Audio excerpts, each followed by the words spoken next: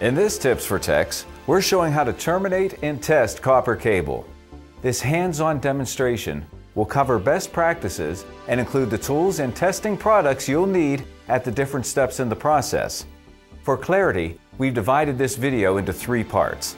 We'll start with how to terminate and test patch cables, then proceed to validating and verifying a copper backbone between a wiring closet and workstation. Last, we'll show you what you'll need to test and or certify the entire cable run. Now let's go to Black Box's Doug Matovich in the Black Box Training Center.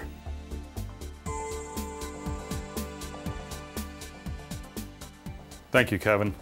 We're going to start by terminating a cable up to the Cat6 specification.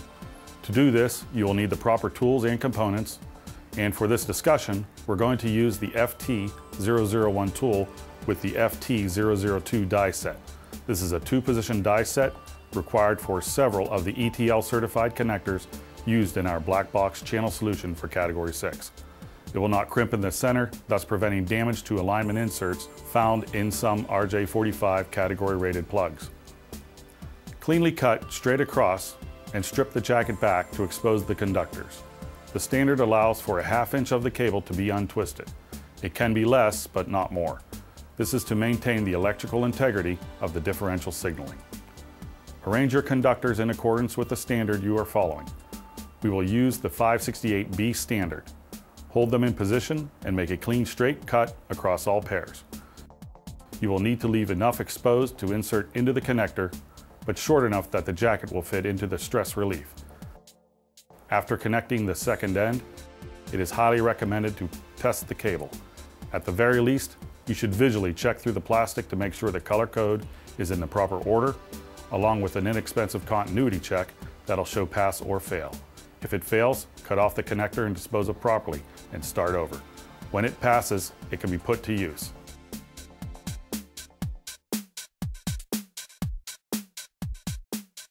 Now it's time to validate and verify the permanent link. That is, the connection between the patch panel and the workstation terminal. It's the wiring that's part of the facility, rarely moved once in place. Typically, it's the wiring that runs from the wiring closet patch panel to the workstation. However, it could just as easily run from the wall cabinet to a point of sale device. For clarity, we're going to use this patch panel, solid UTP wire, and a typical wall jack. Solid core is required for use in a 110 style punch down block. We'll start our run from the patch panel side and pull the cable to the jack. First, strip enough of the jacket to get each pair into its place on the jack. This GigaTrue 2 Cat6 jack is color coded. Again, we will use the T568B color code. Then assemble the jack into the wall plate. Remember, do not stress the cable any more than necessary. If you're working alone, attach your tester's remote unit with a known good patch cable preferably one that'll be as long as the longest cable you expect to use. Peel off enough slack to comfortably reach your patch panel.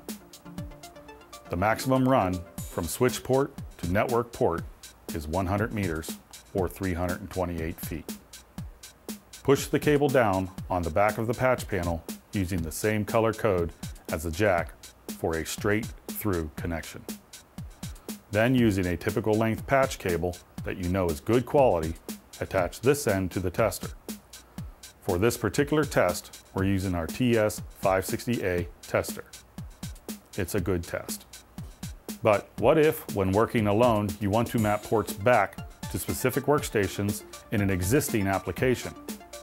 For this, use port identifiers such as those included in our TS565A LAN Solution Network Tester Kit. With the tester powered off, just connect to the unknown jack or plug. Next, press the cable button. The tester will power on in jack ID mode and tell you what port identifier is connected to the other end of this cable. It'll also tell you if no connection is found.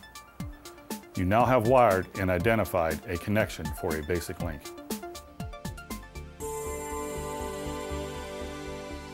Certify the link, You will need accurate test results, usually to the full TIA EIA specification.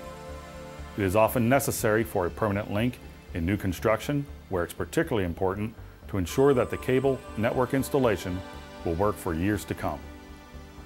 For our tests, we will use a Fluke DTX cable analyzer. This unit tested the full EIA TIA specification and provides documentation for the customer or anyone else requiring such information.